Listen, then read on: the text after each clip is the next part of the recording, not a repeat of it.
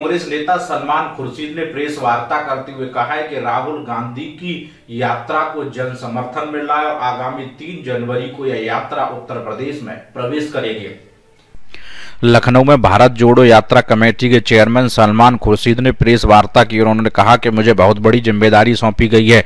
मुझे इस यात्रा का आने पर स्वागत किया जाएगा। अभी तक की तैयारियों में हम सब लखनऊ में हैं। राहुल गांधी को यात्रा में जन समर्थन मिल है। दौरान यूपी में तीन जनवरी को गाजियाबाद शामली से होते हरियाणा जाएँगे।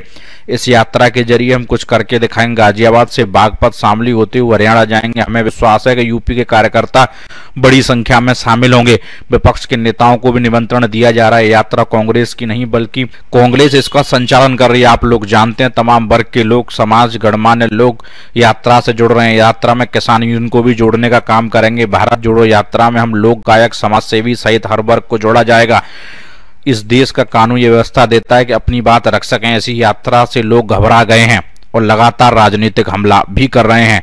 इकबाल अहमद, लखनऊ, समाचार 24 इस विश्वास के साथ जुड़ना चाहता है कि देश को एकत्रित रखना है, इकट्ठा रखना है यूनाइटेड रखना है। उसका स्वागत रहा है और आपने देखा होगा बहुत सारे लोग जिनका कांग्रेस से कोई संबंध नहीं है, वो यात्रा में आते गए राहुल जी के साथ। चर्चाएँ होती गई और राहुल जी के साथ उन्होंने यात्रा में पूरा भाग लिया है।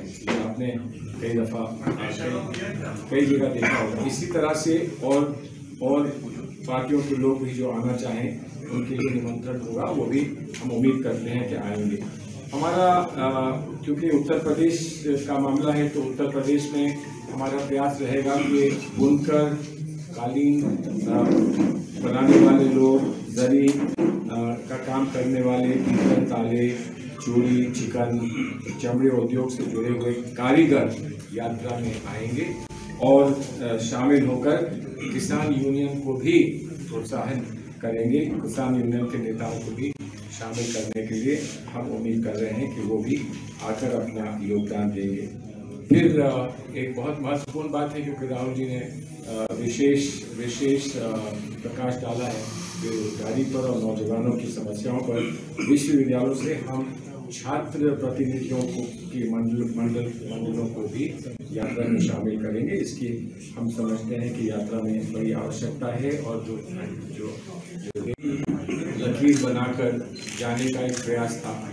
और उसमें अगर वो लकीर वैसे ही रहती तो उत्तर प्रदेश नहीं आ पाता। है लेकिन सब लोगों के आग्रह पर और हमको ये हमको ये आश्वासन दिया गया कि कुछ थोड़ा सा पूरे करके उत्तर प्रदेश को नहीं अकेला छोड़ा जाएगा, उत्तर प्रदेश में अवश्य आएँगे उन्होंने अब तीन जिलों में आने के लिए हमको जो संकेत दे दिए हैं, उसकी हम तैयारी कर रहे हैं। अभी मुनीर साहब ने कहा, गाजियाबाद गाजियाबाद बागपत और शामली तीन जिलों से वो आएँगे। तीन जिलों में हम उनके साथ रहेंगे और उनको हरियाणा तक पहुंचाएँगे। हरियाणा में वो अभी भी हैं। हरियाणा से दिल्ली 24 तारीख को आएँगे और फिर वापस हरियाणा और उत्तर प्रदेश होते हुए जाएँगे। और मैं समझता हूँ कि जो उनका संदेश है और उनका जो लक्ष्य है कि हम लोगों को और करीब से जोड़ते जाएँ तो हरियाणा एक तरफ़ और फिर दिल्ली और फिर हरियाणा दूसरी तरफ़ और उत्तर प्रदेश और करीब आकर दोनों प्रांतों से जुड़ जाए पूरे देश से जुड़ जाए ऐसा प्रयास रहेगा इस यात्रा में और हम उम्मीद करते हैं कि हम कुछ करके दिखाएँगे इस यात्रा में by any political, political leader when COVID pandemic struck India and that first warning was given much in advance by Sri Rahul Gandhi. That, that the, the warning that was given went unheeded. After that, the Prime Minister held rallies for the American President and so on and the Russian President. And uh, major, major, major events happened. Nobody paid any attention. And this is after the warning that was given well in advance. Congress is a responsible party on the basis of verified facts. Whatever is necessary, the Congress will always do. But for us to react simply to some letter written by a minister who should be looking after what preparations have to be made or not made, that letter written only for purposes of creating news, we are not obviously going to take very seriously. But whatever the facts are, we are all here, entire entire lot of people who are who are uh, traveling with with Rahulji, etc. they will be available with facts on their fingertips and whatever necessary steps need to be taken will be taken. I don't think anybody needs to tell us what to do.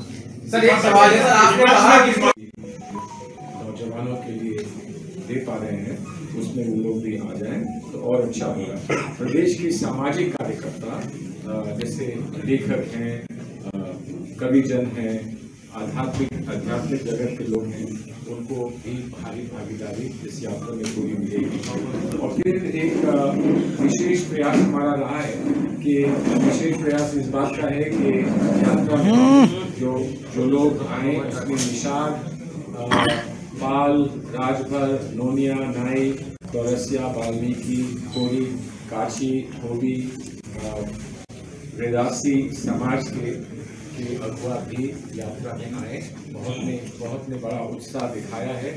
हमसे संपर्क में हैं और उम्मीद करते हैं कि यात्रा में आप उनको देखेंगे। जो हमारी माटी से जुड़े हुए लोग कलाकार हैं, गायक हैं, खिलाड़ी भी हैं और उनको भी आगे यात्रा में आने का अवसर मिलेगा और उनकी जो पेशकश होगी। यात्रा में उनका योगदान होगा, वो बड़ा महत्वपूर्ण होगा। तो इसलिए यात्रा को सुचारू ढंग से हम कर पाए। आज हमारा इस पर और थोड़ी चर्चा होगी, इस पे हमारी कोशिश सभी लोग मानेंगे, जो हमारे सहयोगी ना भी हो, साथी ना भी हो, वो मानेंगे कि ऐतिहासिक यात्रा कभी किसी ने शायद इसकी कल्पना भी नहीं की थी। और जब इसकी हमने पहले घोषणा की थी तो लोग समझते थे कि ये टाइम टाइम फ़िश होगी, कितने दूर तक चलेगी, कहाँ तक चलेगी। अब इस यात्रा से घबरा कर कल दो तीन दिन से जो हो रहा है, कहीं पत्र लिखे जा रहे हैं, कहीं आदेश लिए जा रहे हैं, इतने दिन तक कोविड की किसी को किसी को कोई परवाह नहीं रही। जब कोविड था, तब भी कोई किसी ने परवाह नहीं करी। उत्तर प्रदेश ने जो हाल कोविड के समय में देखा था, उसको दोहराने की आवश्यकता नहीं है। लेकिन अब आदेश दिए जा रहे हैं कि मास्क लगाइए, आप यात्रा ना करिए, आप सोच लीजिए, आप इसको फिर से फिर से स्थगित कर दीजिए। फला फला चीज़ें हो रही हैं। तो अगर इसका कोई राजनीतिक लक्ष्य कोई मानता है, हमारा राजनीतिक लक्ष्य नहीं था। ये लक्ष्य सिर्फ़ दुनिया, हमारे देश को जोड़ने का था। राहुल जी ने इसको बार बार कहा है। लेकिन अगर कोई इसमें राजनीतिक लक्ष्य देखता है तो उसको एक जवाब ये मिल गया कि हमारा राजनीतिक लक्ष्य तो पूरा हो गया। डर गए। वो लोग डर गए, जिनको कोविड से डरना चाहिए था, वो कांग्रेस से डर गए। कोविड की लड़ाई में हम हमेशा साथ हैं, साथ रहेंगे। लेकिन जैसे हमारी सीमाओं पर चीन से लड़ाई में हम हमेशा साथ हैं, साथ रहेंगे, लेकिन देश को सच की आवश्यकता है। जो भी सच है, चाहे चीन का हो, चाहे कोविड का हो, वो देश को बताएँ और अगर भी घटित हो जाए जो मोबिलाइजेशन कमेटी के नाम से, स्वागत कमेटी के नाम से, सुरक्षा कमेटी के नाम से और भोजन और पड़ाव प्रबंधन कमेटी जिन सब पर पहले से काम चल रहा है लेकिन ज़्यादा से ज़्यादा लोग हमारे संगठन के ज़्यादा से ज़्यादा लोग उसमें अपना योगदान दे सकें और उनकी भागीदारी हो इसलिए भी ये समिति भी हम बना के जल्द आपके सामने पेश कर देंगे तो ये सब आ, ये सब हमारा आ, हमारा प्रयास है। आ, मैं सिर्फ़ एक बात आपसे ये कह दूँ कि हमें आश्चर्य नहीं हो रहा लेकिन थोड़ा सा दुख इस बात का हो रहा है कि इस देश की जो व्यवस्थाएँ, हमारे देश की डेमोक्रेटिक व्यवस्थाएँ हैं लोकतांत्रिक व्यवस्थाएँ हैं, उसमें उसमें हर एक व्यक्ति को, हर पार्टी को, हर समुदाय को, हर हर हर ऑर्गेनाइजेशन को ये अधिकार है कि वो अपनी बात प्रकाशित करने के लिए, अपनी बात कहने के लिए, सुचारू रूप से लोगों की जन- जनता के सामने रखने के लिए, वो सब करे जिसकी जो परंपराएँ हमारे देश में स्वीकार हैं। उसमें धरना प्रदर्शन होते हैं, उसमें भाषणबाजी होती है, आप मीडिया के लोगों के साथ चर्चाएँ होती हैं।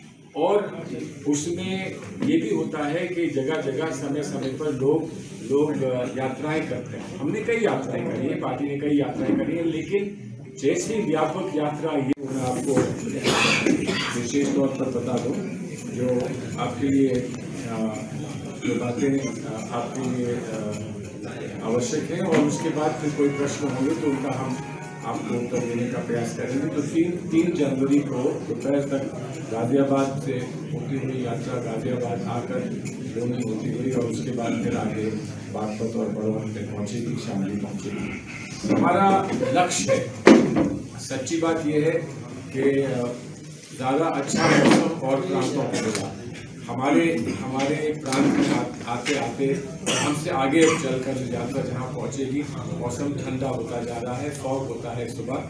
लेकिन उसके बावजूद हमारा पूरा प्रयास ये है और हमें विश्वास है इस बात का कि उत्तर प्रदेश के कार्यकर्ता काबिल जी के के संचालन में उत्तर प्रदेश के कार्यकर्ता कम से कम ग्यारह हज़ार राज्य यात्रियों के रूप में निकल कर आएँगे और वो इस यात्रा में साथ चलेंगे जो पैदल भी होगी और साथ में लाखों लोग रास्ते में निकल निकल के स्वागत करते रहेंगे ऐसा हमारा विश्वास ग्यारह हज़ार हमारे स्थायी यात्री होंगे।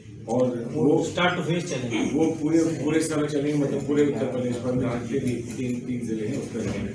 विपक्ष के नेताओं को निमंत्रण दिया जा रहा है।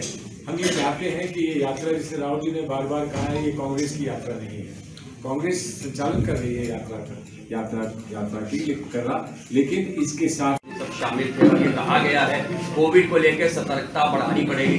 क्या आप इस टाइमिंग को लेकर कुछ कहना चाहेंगे? टाइमिंग के लिए मैंने टाइमिंग के बारे में मैंने कह दिया है लेकिन सतर्कता की बात है तो आप में तो कोई सतर्क नहीं है। आप में से किसी ने मास्क नहीं पहना चीफ मिनिस्टर आपसे कहते हैं आप लोग नहीं पहनते वो आप तो सर आपने भी नहीं पहना है। नहीं नहीं मैंने इसलिए नहीं पहना कि मैं चीफ मिनिस्टर की बात नहीं मानता। हूँ आप कह रहे हैं चीफ मिनिस्टर की बात मैं चीफ मिनिस्टर पे विश्वास नहीं करता हूँ लेकिन रही बात हमको सतर्क रहना चाहिए और हम क्या निर्णय लेंगे समय समय पर वो हम आपको समय समय पर बताते रहेंगे। लेकिन यात्रा नहीं रुकेगी ये बात स्पष्ट कर दे राहुल जी ने इस बात को कह दिया है यात्रा नहीं रुकेगी। हमारी जंग जो है हमारी लड़ाई इस बात पर है कि हमें लोगों को जोड़ना है। चाहे मास्क पहनकर जुड़े या बिना मास्क के जुड़े, हम लोगों को जोड़े। स्थानीय प्रशासन से परमिशन ली गई है जैसे अखिलेश जी को झांसी जाना था, वहाँ पर फॉगी वेदर बताया गया हेलीकॉप्टर उतारने की उनको परमिशन नहीं दी गई। क्या राहुल गांधी की इस यात्रा के लिए परमिशन